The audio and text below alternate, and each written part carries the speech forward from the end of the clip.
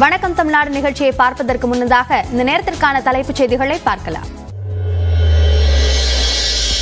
திமுக கூட்டணியில் உள்ள மதிமுக மற்றும் கம்யூனிஸ்ட் கட்சிகளுடன் இன்று மூன்றாம் கட்ட பேச்சுவார்த்தை. மூன்று கட்சிகளுடன் இன்றே தொகுதி உடன்பாடு ஏற்படும் என தகவல்.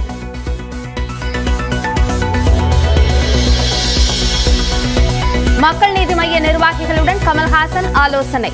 திமுகவுடன் இன்று அல்லது நாளை தொகுதி உடன்பாடு ஏற்பட வாய்ப்பு. மத்திய அரசின் திட்டங்கள் தமிழ்நாட்டில் மறைக்கப்படுவதாக தூத்துக்குடி நிகழ்ச்சியில் பிரதமர் நரேந்திர மோடி குற்றச்சாட்டு. தமிழ்நாட்டில் திமுக என்ற கட்சியே இனி இருக்காது என நெல்லையில் நடந்த பாஜக பொதுக்கூட்டத்தில் பேச்சு. திமுகவை அழிப்பதாக சவால் விட்டு காணாமல் போனவர்கள் வரிசையில் பிரதமர் மோடியும் விரைவில் இணைவார் என டி ஆர் பாலு பதிலடி. திமுக என்ற இமயமலை வரலாற்றில் நிமிர்ந்து நின்று கொண்டிருப்பதாகவும் அறிக்கை. கோரிக்கைகளை வலியுறுத்தி மாவட்ட தலைநகரங்களில் தொடர் உண்ணாவிரத போராட்டத்தை தொடங்கும் இடைநிலை ஆசிரியர்கள். பணிக்கு வராத ஆசிரியர்களின் சம்பளத்தை பிடித்தம் செய்ய பள்ளிக்கல்வித்துறை திட்டம் என தகவல். போதைப்பொருள் கடத்தல் வழக்கில் சிக்கிய திமுக முன்னாள் நிர்வாகி ஜாஃபர் சாதிக் வீட்டிற்கு சீல். டெல்லியிலிருந்து வந்த மத்திய போதைப்பொருள் தடுப்பு பிரிவு அதிகாரிகள் நடவடிக்கை.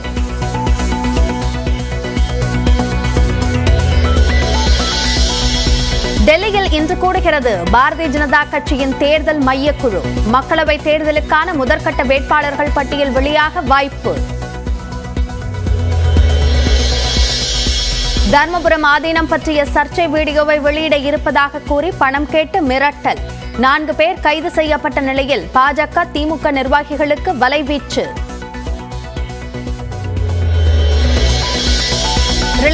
ரிலையன்ஸ் குழுமத்தின் எயிட்டின் மற்றும் வால் டிஸ்னேயின் ஸ்டார் இண்டியா இணைந்து செயல்பட ஒப்பந்தம். கூட்டு நிறுவனத்தின் தலைவராக நீட்டா அம்பானி செயல்படுவார் என அறிவிப்பு.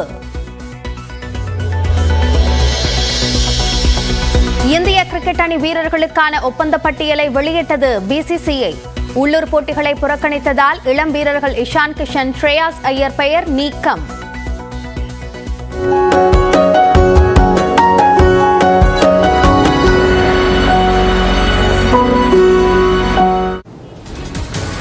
வணக்கம் நேர்களே வணக்கம் தமிழ்நாடு நிகழ்ச்சியுடைய மிக முக்கியமான நோக்கம் என்ன அப்படின்னா பேசப்படும் செய்திகளுடைய பேசாத பக்கங்களை அலசுவதுதான் நிகழ்ச்சியுடைய நோக்கம்.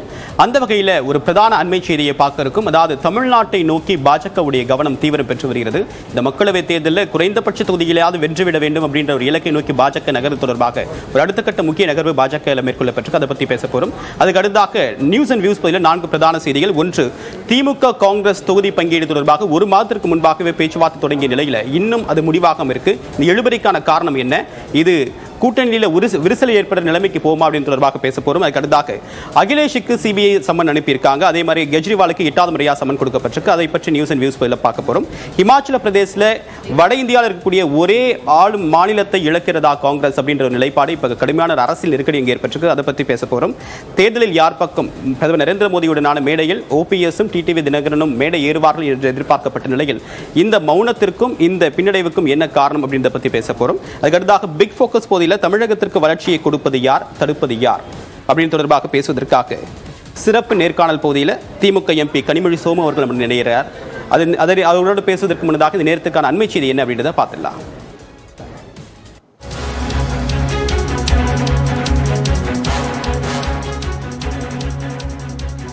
பாஜகவுடைய கவனம் தமிழ்நாட்டின் மீது தொடர்ந்து அதிகரித்து வருகிறது. இந்த நிலையில் பிரதமர் நரேந்திர மோடியுடைய அடுத்தடுத்த பயண திட்டங்கள் தொடர்பாகவும் அதனுடைய முக்கியத்துவம் தொடர்பாகவும் தற்போது மேலும் ஒரு அண்மை செய்தி கிடைத்திருக்கு. விவரங்களுடைய நிகழ்ச்சி சிறப்பு செய்தியில் சுபாஷ்.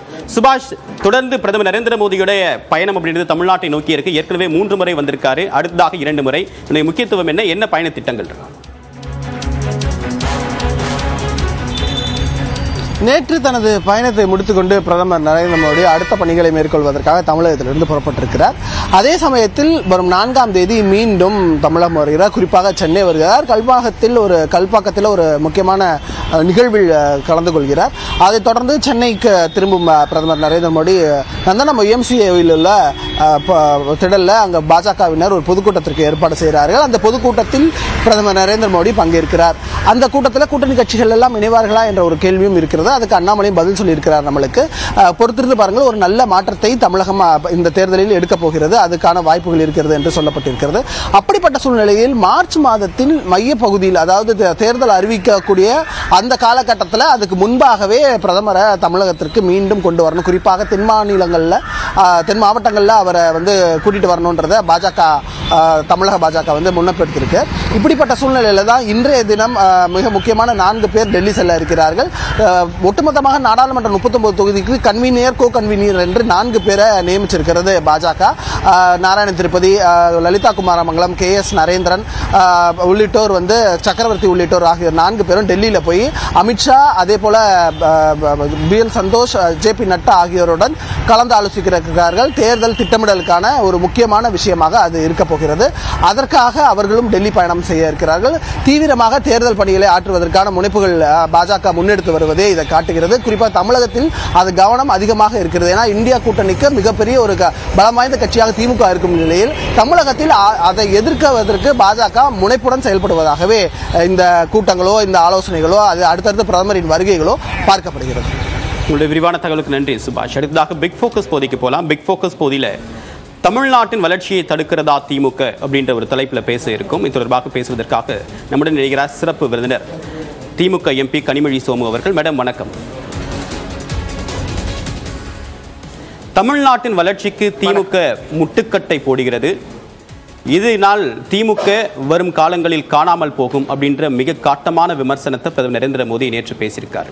இதை பற்றி உங்களுடைய முதற்கட்ட பார்வை என்ன?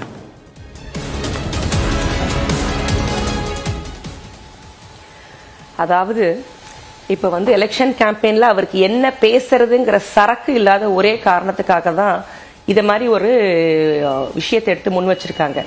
இன்னைக்கு நரேந்திர மோடி கடந்த இரண்டு நாட்களாக வந்து பல ப்ரோக்ராம்ஸில் பங்கேற்கிறதுக்காக தமிழ்நாட்டில் இருக்கிறாங்க. நேற்று பல்லடத்தில் பேசுகிறாங்க முந்தா நேற்று பல்லடத்தில் பேசுனாங்க. நேற்று வந்துட்டு தூத்துக்குடியில் பேசுனாங்க. இங்கே பேசுகிற எல்லா இடத்துலையுமே வந்துட்டு திமுகவை வந்து அவர் வந்து கையில் எடுத்து பேசிகிட்டு இருக்கிறாரு. நரேந்திர மோடிக்கு நான் வந்து சில கேள்விகளை முன்வைக்க விரும்புகிறேன் முதல் கேள்வி. பத்தாண்டு காலமாக வந்துட்டு பாரதிய ஜனதா கட்சி தான் வந்து மத்தியில் ஆட்சியில் இருக்குது. தமிழ்நாட்டுக்கு எத்தனை ரயில்வே லைன்ஸ் கொடுத்துருக்குறாங்கன்றத வந்து மோதியை பதில் சொல்ல சொல்லுங்கள் அதே வந்து எங்களுடைய திராவிட முன்னேற்ற கழகம் கூட்டாட்சியில் மத்தியில் இருக்கும்போது எங்களுடைய நாடாளுமன்ற உறுப்பினர் மற்றும் குழுவின் தலைவர் அண்ணன் டி ஆர் பாலு அவர்கள் எத்தனை லைவ்வே லைன்ஸை வந்து தமிழ்நாட்டுக்காக வந்து கொண்டு வந்தாங்கன்றதை யோசிச்சு பார்க்க சொல்லுங்க. ஒன்று அதே மாதிரி நமக்கு கொடுக்க வேண்டிய ஜிஎஸ்டி பணம் அதாவது பல முறை அதாவது கடந்த ஐந்து ஆண்டுகள் வந்து அண்ணா திராவிட முன்னேற்ற கழகம் வந்து இங்க தமிழ்நாட்டு ஆட்சியில் இருக்கும்போது ஒரு தடவை கூட அவங்க வந்துட்டு மத்திய நிதி அமைச்சரை பார்த்து ஜிஎஸ்டி பணத்தை கேட்கவே இல்லை அந்த கடந்த ஐந்து வருடங்கள்ல. திராவிட முன்னேற்ற கழகம் வந்து தளபதி தலைமையில நாங்க வந்து பதவியேற்றதுக்கு அப்புறமா இந்த நிமிஷம் வரைக்கும் ஒவ்வொரு முறையும் ஜிஎஸ்டி பணத்தை திருப்பி கேட்டு கேட்டு கேட்டு நாங்க வந்து சலிச்சு ஓஞ்சி போயிட்டோம். நியாயமா இது தமிழ்நாட்டுக்கு கிடைக்க வேண்டிய நிதியை தான் நாங்க கேட்கிறோம்.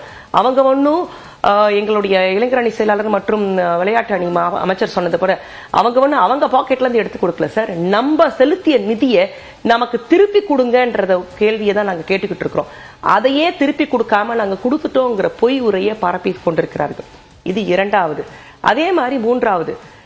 எப்பவுமே வந்துட்டு பாத்தீங்கன்னா எஜுகேஷன்லயோ நம்மளுடைய மருத்துவ கட்டமைப்புலயோ பாத்தீங்கன்னா தொன்று தொட்ட காலம் முதல் அதாவது பெ- பெரியார் அண்ணா கலைஞர் இவங்க எல்லாருமே வந்துட்டு இப்போ நடத்தி கொண்டிருக்கிற திராவிடியன் மாடல் கவர்மெண்ட் நடப்பிட்டு கொண்டிருக்கும் தளபதியார் வரைக்கும் பார்த்தீங்கன்னா எல்லாருமே வந்து அந்த எஜுகேஷனுக்கு வந்து ஒரு முக்கியத்துவம் கொடுத்து நம்மளுடைய தமிழ்நாட்டை வந்து எந்த அளவுக்கு மேலே கொண்டு போயிருக்காங்கன்றது வந்துட்டு ரிவிடியன் கவ மாடல் கவர்மெண்ட்ல மட்டும்தான் நடந்திருக்கிறத வந்து இது யாராலும் மறுக்க முடியாது.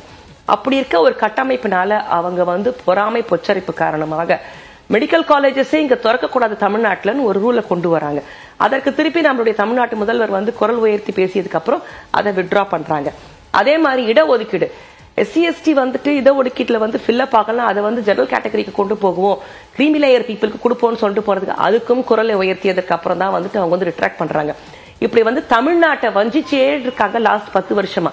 அவங்களுக்கு என்ன காழ்ப்புணர்ச்சினா இங்க அவங்களால வந்துட்டு அவங்களுடைய ஓட் பேங்கை இம்ப்ரூவ் பண்ண முடியல அவங்களால ஒரு சீட்ஸை வின் பண்ண முடியல அவங்களோட கட்சி கட்டமைப்பை இங்கே கொண்டு வரல முடியுங்கிறங்கிற காழ்ப்புணர்ச்சியில தான் வந்து நம்மளுடைய பிரதமர் வந்து இப்படி எல்லாம் வந்துட்டு சரக்கு கையில இல்லாம இதை கையில எடுத்துட்டாங்க ஏங்க குறைந்தபட்சம் நான் உங்களை ஒரு கேள்வி கேட்கிறேன். நேற்று வந்து தூத்துக்குடி திருநெல்வேலியில் அவங்க வந்து ஒரு பெரிய மீட்டிங் பேசுறாங்க. அதாவது யாரு? இந்தியாவுடைய பிரதமர். அந்த சில பல மாதங்களுக்கு முன்னாடி தான் அந்த தொகுதியில பயங்கரமா வந்து புயலால வந்து மக்கள் பாதிச்சு அதற்காக வந்துட்டு மத்திய குழுவே வந்து அங்க எல்லாம் பார்த்து இவ்வளவு ஃபண்டு தேவைன்னு கொடுத்ததுக்கு அப்புறமும் அந்த ஃபண்டையும் வந்து தேவையான அளவுல ஒதுக்கல. அதை பத்தி குறைந்தபட்சம் ஒரு வருத்தம் கூட அவர் தெரிவிக்கல நேற்று வந்து மீட்டிங்ல பேசும்போது. இவரா மக்களை காப்பாற்ற போடுகிற பிரதமர்? யோசிச்சு பாருங்க. அதே நாங்க வந்துட்டு எங்களுடைய ஃபண்ட்ஸ்ல இருந்து எடுத்து எக்ஸ்ட்ரா கொடுத்துருக்கோம் அது இந்த பட்ஜெட்லயும் நாங்க வந்து சொல்லியிருக்கிறோம். இதுதான் வந்து இன்றைய பாரத பிரதமருடைய நிலைமை.